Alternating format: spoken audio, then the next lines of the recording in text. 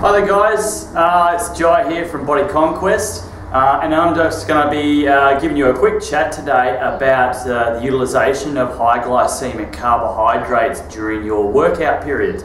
So um, at Body Conquest we uh, generally get our clients to do a bit of a creatine cycling, uh, much the same as metabolic precision reports and we do have reports on how the best way to utilise that is now, in conjunction with that, we also get a lot of our clients, especially once they become um, glucose tolerant reduce their insulin resistance, we start to get them to take a high glycemic carbohydrate around training time. And depending on the size of the body and whether you're male or female and how sensitive you are to carbohydrates, uh, depends greatly on the dose that you would be taking, and that's something that we can experiment with uh, with you as you um, go through several 12-week blocks at Body Conquest.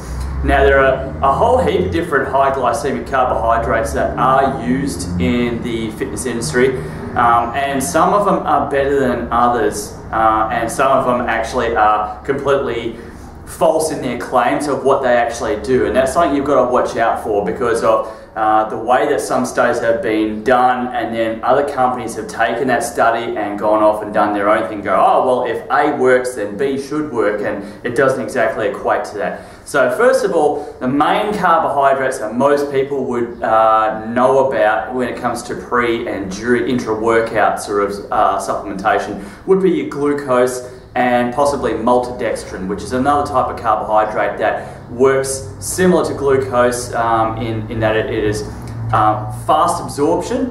Um, generally, it's seen as the fastest absorbing carbohydrates um, available in nature. And uh, generally, what we would try and get our clients to do is take a dose uh, dependent again upon your body weight, but generally for most girls that might be somewhere around about the 35 gram mark, and for most guys it might be about the 70 gram mark. And they would have that in their pre-workout protein shake, so around about 15 minutes prior to their workout.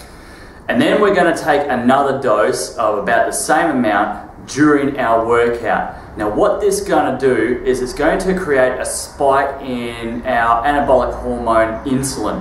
Now I know that insulin gets a dirty word quite often when it comes to nutrition because insulin is our uh, store of fats if it's in the wrong environment. Insulin, insulin resistance, type 2 diabetes, everyone gets associated with that when it comes to uh, you know, uh, the, the insulin. But insulin is a very handy hormone. In fact, it's the most anabolic hormone that is available in our body.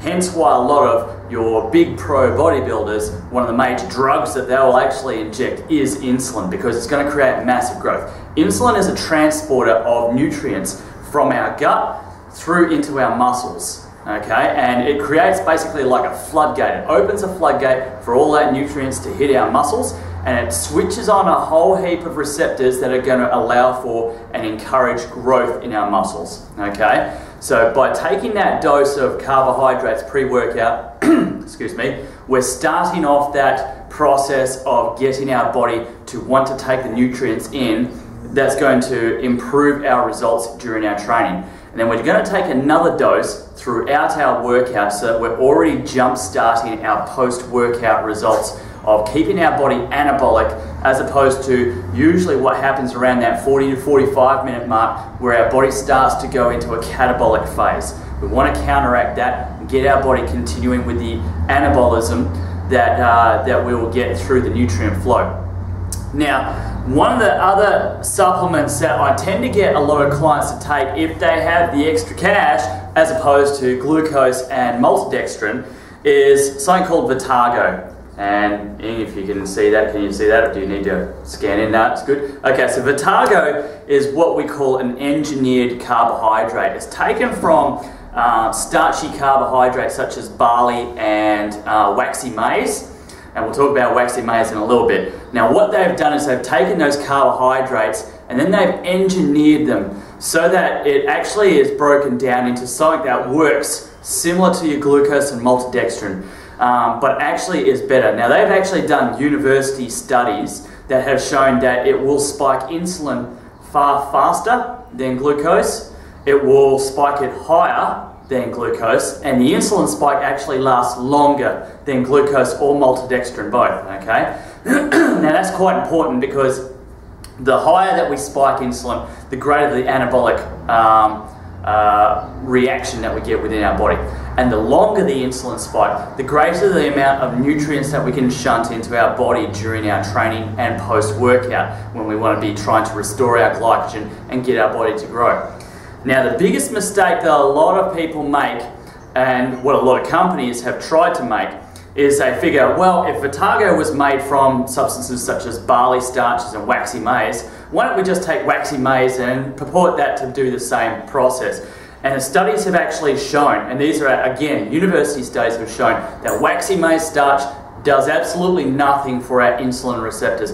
Doesn't do anywhere near even what glucose and maltodextrin do. So really you're flushing money up the wall when you buy maltodextrin. Vitargo on the other hand is still a great substance and um, uh, unlike a lot of other um, uh, carbohydrates, such as your glucose and maltodextrin, which can sometimes cause a little bit of an upset tummy or bloating, uh, Vitargo very um, um uh, quite often will not cause that. Um, the people that do tend to react from a little bit of bloatedness, I would recommend going the unflavoured one. That seems to work pretty well, and you can always add your own flavours later. So in wrapping up, guys, what I uh, really like to say is that carbohydrate dose, you don't need to be afraid of it. In fact, it's a really important aspect. And if you've seen the, one of the previous videos that Ingrid and Renata talked about with excess calories to help build your muscles, to help grow in the off season, Vitargo is a very important aspect of that, um, or your high glycemic carbohydrates. Any high glycemic carbohydrates around training time, spiking insulin, creating that phase of growth. Really important. And even throughout the dieting process, I know that some people will get caught up in a dieting process of, oh, must cut out the carbohydrates. Got to watch out for those insulin spikes because when insulin's high, our body doesn't burn fat. Well, that's not necessarily true either. And in fact, by having that high glycemic spike around dieting time, it's going to help to prevent a lot of muscle loss, okay, which can happen during the dieting phase. So quite important for a lot of people so that they don't lose their strength and don't lose their muscle mass while they're dieting. So uh, in the end, guys, don't be afraid of your carbohydrate intake. Don't be afraid of insulin. They're both your best friends.